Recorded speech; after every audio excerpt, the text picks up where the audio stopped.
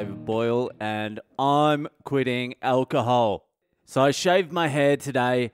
I don't know why it's taken me so long. I haven't shaved it properly in maybe like eight months, nine months, ten months. Who fucking knows? Who cares? But it is fucking liberating. I feel free again. I know what it feels like to be a chick taking off their bra now.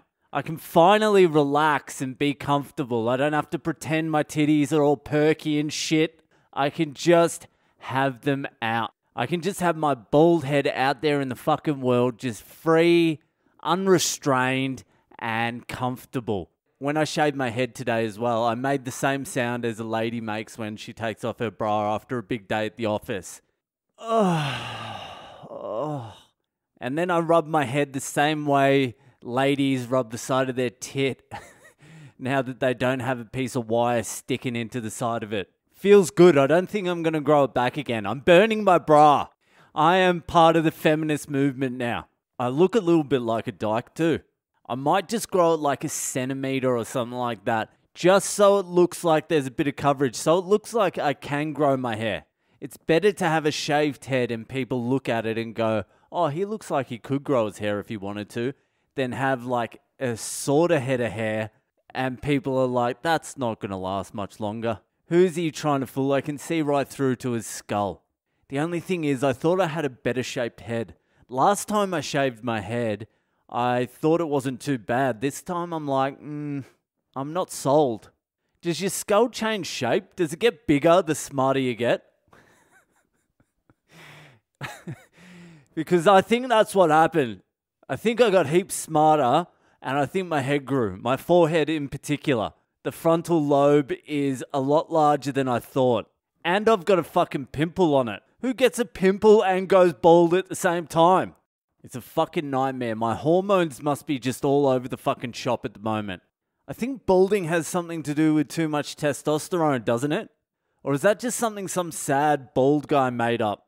because that's not how I feel at the moment. I don't feel like I have too much testosterone. I don't feel like I have so much testosterone that the only way it can escape from my body is through my head by pushing my hair follicles out.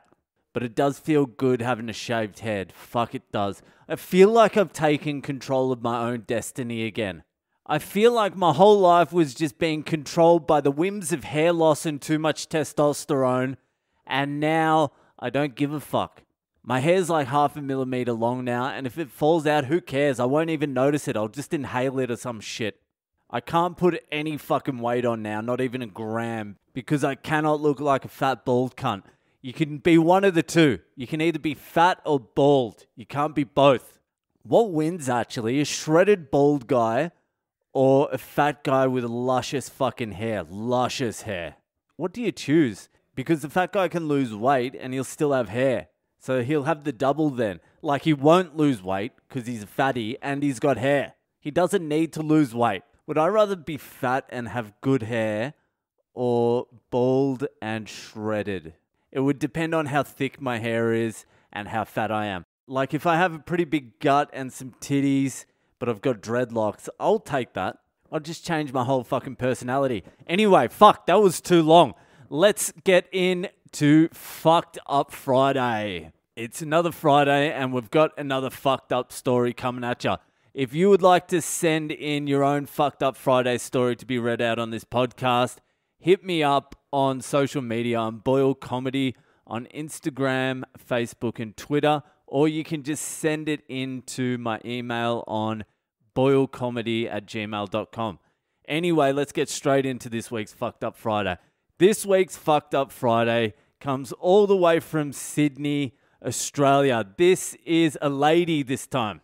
It's from one of the lady listeners this week. We had Stifler last week, so it's going to be good to hear from one of the ladies. So this story was sent in by Abby in Sydney. Abby was actually the name of my first crush ever when I was eight or nine.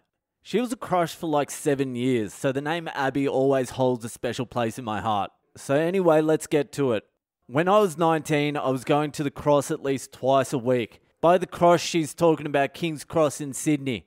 That's where Bada Bing is. That's where I got fly kicked by the stripper. The story I told you yesterday, King's Cross, same place. So I was going to the cross at least twice a week to eat as many pills and do as many shots as I could at World Bar, a classic pre lockout venue. Yes, the World Bar is actually called Wonderland now, and it's the place I did my last gig in Australia before I left. It's on my Instagram where I got heckled like fuck. That's the World Bar, now it's Wonderland. It was a fucking sweet place to get fucked up. Anyway, one night, my girlfriend and I, along with some random guy we met, left when the club shut and decided to buy another pinger on our way out for the train ride home. For those of you not in the know, a pinger is Australian slang for ecstasy. You can also call it a fucking goog, which is my personal favourite. Get on the googs.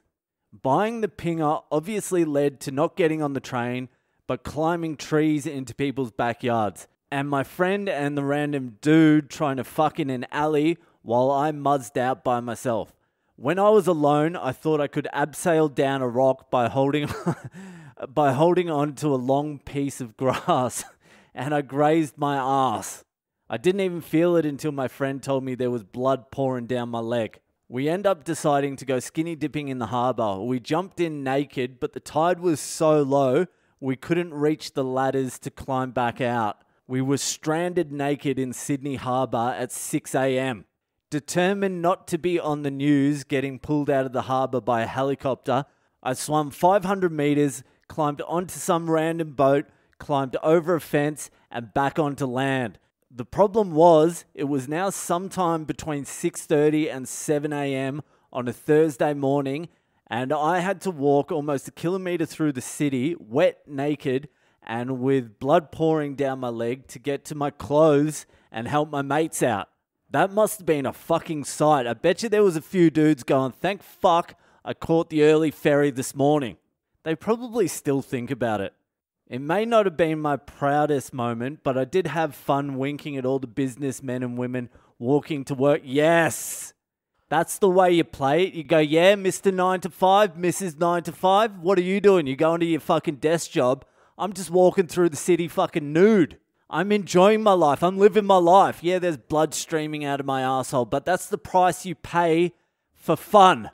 That is the way you play it. You did well there. You wink, you keep eye contact and fucking make them look away. So I did have fun winking at all the business men and women walking to work who either were stoked that they got to see a naked teen or thought I was an absolute mess. Here's a photo below of the graze on my ass. Cheers. I'll tell you this right now. The graze is less a graze and more a fucking road rash. It covers her entire fucking ass cheek. It is a massive fucking graze, and there's a little bit of action on her inner thigh on her left leg. But once you look past all this, she's got a fucking great ass. So those nine to five is fucking lucked out. Thank you, Abby, for sending in that fucked up Friday, you wild mess. That's it for tonight. Enjoy your weekend, and I'll see you the fuck later.